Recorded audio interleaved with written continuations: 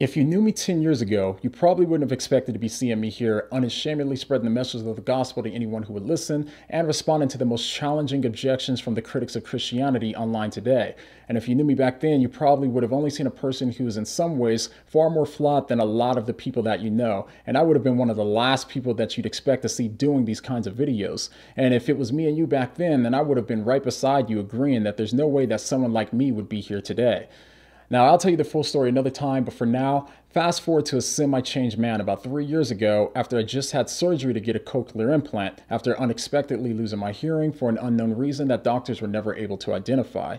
So if you don't know how cochlear implants work, they're little hearing devices that have internal and external components to them. And the internal component is surgically implanted behind your ear, but before it works, you usually have to start learning how to hear all over again. So depending on the degree of hearing loss, it can take years to start being able to hear somewhat decently. And that's because you have to relearn how to hear all over again by training your brain to start understanding electrical signals instead of sound waves.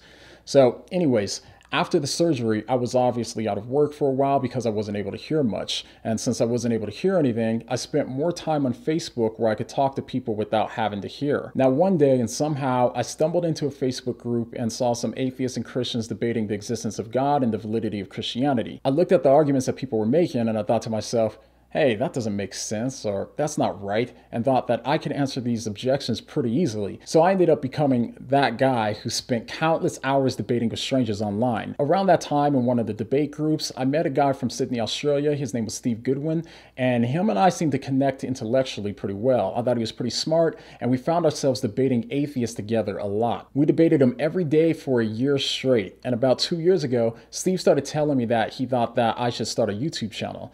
Now, I listened, but I didn't really have a desire to do one because I've always been really awkward in front of any kind of camera, and I hardly watched any YouTube anyway. So I wasn't all that interested, but I still flirted with the idea. Then one day he messaged me and he basically said, Start doing YouTube videos. I got you a camera and all the basic stuff you need. What's your address? I'm going to ship it to you today. And I was like, well, I guess now I got to give it a shot, even though I had no idea what I was supposed to be doing. So I set up to record my first awkward video, and I remember thinking how I didn't even know what a decent video was supposed to look like, and how no one was probably to watch it, but maybe that was okay because I knew that it was to be painfully awkward. And then I remember wondering how I would go from zero subscribers to 10 subscribers, and how crazy it would be to hit a thousand, even though I knew I probably never would. Now, fast forward until you get to today and next month marks the two year anniversary of this channel. And as of today, I've published over 160 videos and I'm coming up on 40,000 subscribers. And almost daily now, we get messages and emails and comments about how people's lives have been touched and impacted through the videos. And we even get regular comments from atheists and non Christians who say that the videos changed their views drastically and how the videos successfully refuted the anti Christian videos that they were previously convinced of before watching our videos. Now, that humbles me thinking how God can make an impact through some videos videos that little old me started recording in my small two bedroom apartment living room with a donated camcorder. And for that and seeing how God has used this ministry to reach hundreds of thousands of people every single month around the world, makes me feel incredibly grateful and undeserving. Seeing the channel analytics shows just how many countries we're getting the gospel to every single day as well, which is incredible. Now, though it's been absolutely amazing doing response videos and spreading the message of the gospel to so many people throughout the world, if I'm being perfectly honest, it's also been a real struggle to try to keep it going. Now, I'm the kind of person who always pushes through stuff until it's almost impossible to keep going. Like even with practical stuff like a car, I will drive that thing until the wheels fall off or the engine just stops working. I'm that kind of person.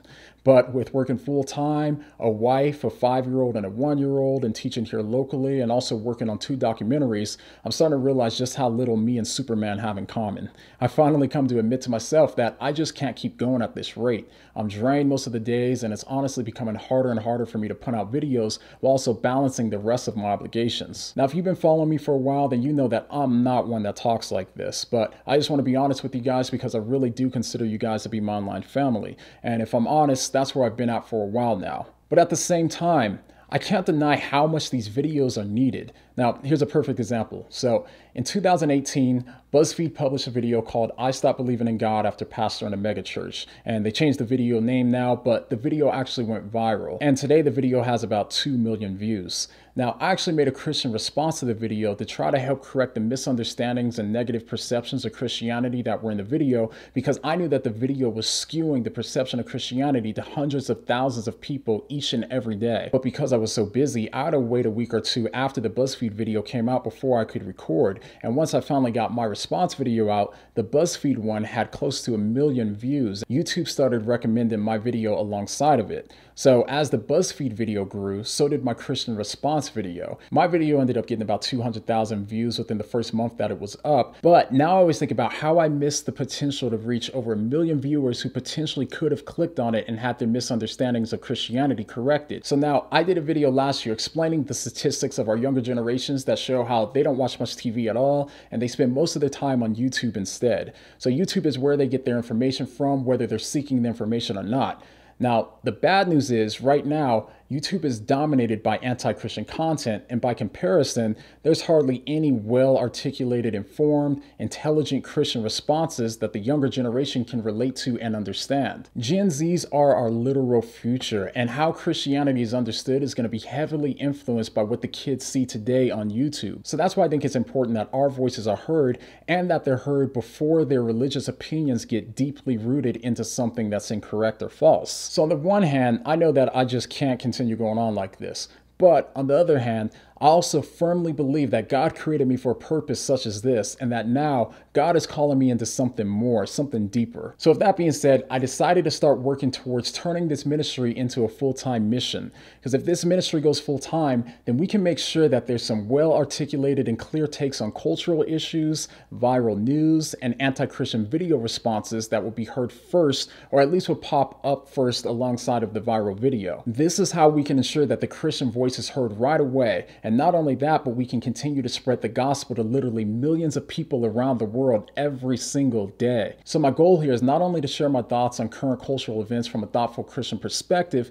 but also to create full playlists of refutations to the leading anti-Christian video makers in the world, so that way people have clear and accessible playlists where they can find responses and refutations. So if this channel has impacted your thinking, your perspective, or your life, and you've considered partnering with this ministry before, prayerfully consider doing so now because if we want to see this become a reality, now is the time that we're going to need your support. And if you haven't thought about supporting it before, remember that if this channel has impacted your life in any kind of way, it also has the potential to impact millions of other lives as well. The best way to support us is through Patreon, and supporters on Patreon also get a lot of perks. So go ahead and click the link down below, and I'll see you guys over there. But before I go, I guess uh, I don't really know how to word this, but I guess I'll just say it. What do you meme?